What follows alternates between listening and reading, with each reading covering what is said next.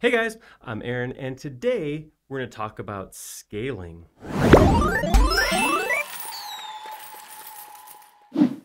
So I said scaling, not quite as simple as like just using the scaling tool. What I'm actually talking about is going in and taking something and making it a specific size, like an exact scale. So uh, not necessarily like make it bigger, just make it smaller, 50% the size it was. Like if I want to make something exactly a specific dimension, a specific scale, we're taking a look at how to do that right now. All right, so as with most things in SketchUp, there's a couple different ways I could go about this. So here I have some rulers. I chose rulers because they have to be a specific size uh, based on what's here. You can see they're very, very big, right? So this is supposed to be 150 millimeters.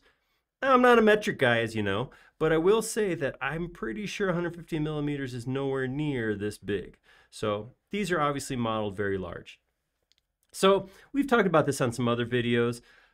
There are cases, we, we in general with SketchUp, if we're doing like an architectural model, we do recommend modeling full size. It's the easiest way to go about it, but there are situations where you might model larger or smaller than full size. So if I have something that's real small with a lot of small, small detail, uh, I might have to scale up when I model. So that looks like these were maybe modeled extra large to uh, allow for a bunch of small detail, little tick marks, that kind of stuff. The other thing would be if I was modeling something super big, I might have to bring it down. So if I wanted to, you know, I don't know, model a planet or something, I might model that much smaller than it is. Regardless, if I ever model something outside of the standard size, and those of you who watch our live models may know that I tend to hop in and just start modeling to get my shapes in, and I don't worry about specific sizes sometimes until later on.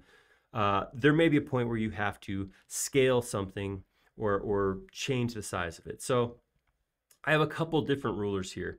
So the one at the top, you can see goes from zero all the way up to 150. This is 140 plus there's 10 tick marks, 150 millimeters.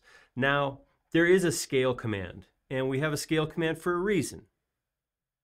To scale things. That's right. So what I'm going to do is I'm going to select this. I'm going to select it on the outside. You see I'm on the outside of the component. If I double click, I can come in here and then I actually have some, the tick marks, the numbers, the geometry are all separate.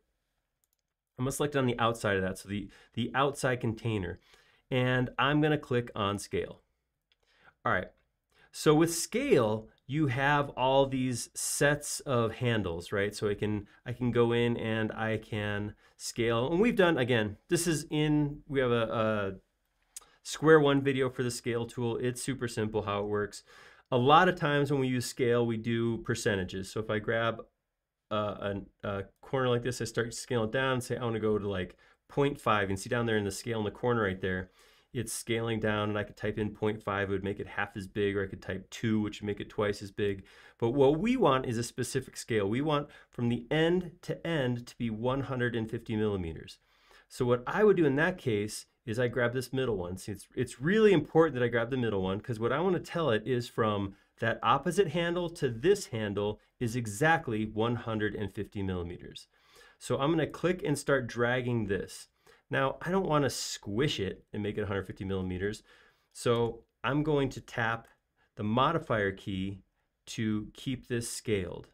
So in this case, it is shift. So if I hold shift, I'm dragging down like this, and I'm going to release it. And then I'm to type the exact scale I want. I want that to be 150 millimeters. So 150 mm, enter. And there it goes, little teeny tiny. Now that is from this side to this side 150 millimeters or just under six inches. So that works great for this one. Look how small it is. Look how big this is. So obviously this one's going to be an issue, right? If I take this and I go, all right, scale it down, and we're to go this way, do the exact same thing, shift, scale that direction, and type 150 millimeters. All right, what happens with that? Well, it scaled it down, now my things are like really far apart. So let's grab, let's grab this guy right here. Let's go move him over here.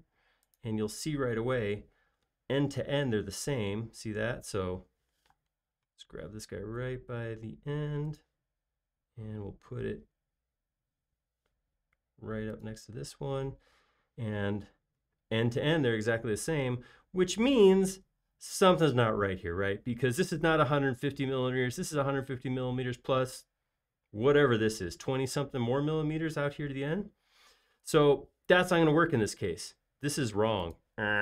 So let's look out here. We have one more. I want to scale this so that it is 150 millimeters from the end of the ruler to this mark without having to mess with what's over here. So what I'm going to do is I'm going to double click. That's going to open up the ruler. So I'm in now. This is where I have, like I said, these different these different groups that have this other stuff in here. And what I'm going to do is I'm going to grab my tape measure tool, not scale, but tape measure. And I'm going to go from this corner, zoom in here, get that corner, and I'm going to click to, so right now, uh, I'm going to come to right there, and I'm going to click right there. And it did give me, see it gave me that, that, uh, that guide there. Uh, I'm going to hit Command Z. Um, actually, I'm going to back up one more step. This is a copy of this component that I scaled. So I'm going to go ahead, right click and say make unique. So that's going to say that uh, if I make a change here, it's not going to mess with this little guy I have up here either. So by making it unique, I did that. And then I'm going to go, all right, one more time. So what I'm going to do is I'm going to down here, I have the option of I can click option. I'm on Mac, so option to toggle create guides. If I tap option once, see little plus goes away. Plus says make a guide. Without the guide, I'm just in tape measure mode. And I'm gonna click here, and I'm gonna click right here, and then type 150 mm and hit enter. It's gonna come up and say, do you want to resize the active group? That's the group I'm in. I'm gonna hit yes. Ooh, it got small. Let's check it out. Let's zoom in here. Yeah, that looks like it could be right. So if I go from here to here, yeah, just about six inches. And if I go grab, oh, really got to zoom out. I'm grab both these and just bring them down here closer. Where is it? There we are. Whew. All right, so if I grab this one, not the one I know is wrong, I'm not gonna, I'm gonna kind of abandon that. But if I grab this one, grab it by the corner, and then, oops, grab it by the corner, Put that right up here. What I should see is my marks. Oh, I grabbed the wrong one. That's the one I didn't want. Let's grab this one. Second try is a charm. That's what they say. All right, so if I grab this one right next to this one, I should see my marks lining up all the way down. Even though I scaled them two different ways, this guy was scaled with the scale command, and this one with the tape measure. So depending on the content you have to scale, there's different ways to go about it. Um, the general rule of thumb is that container, the outside geometry. When you hit scale, it's going to say, okay, absolute outside, these, this is what I'm resizing. If that outside geometry can be brought to a specific dimension, then go ahead and use scale. If not, if you're scaling about some intermediate geometry that falls inside that container, then you want to use the tape measure and specify a span across there. Generally speaking, I say grab the biggest span you can and scale it. Uh, if we go real small, that's where maybe rounding and that kind of thing, like fractional increments may end up causing a problem and you'd be a little bit off. So usually, I usually scale the biggest thing that I know for a fact is correct. Uh, and well, there we go. So uh, yeah, hopefully that works for you. Uh, let me know if that scaling works for you. If you have a different way of scaling, I love to hear that too. Put in the comments down below. Let me know how you like to scale. And uh, if you haven't done this before, let me know that too. Let me know this worked out for you. And you know, while you're clicking around, go ahead and like, subscribe, share this with somebody. I uh, really appreciate when you get a chance to do that.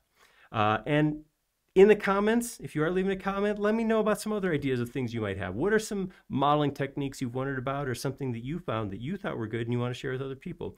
We like making these videos a lot. We like them even more when it's showing something you want to see. Thank you.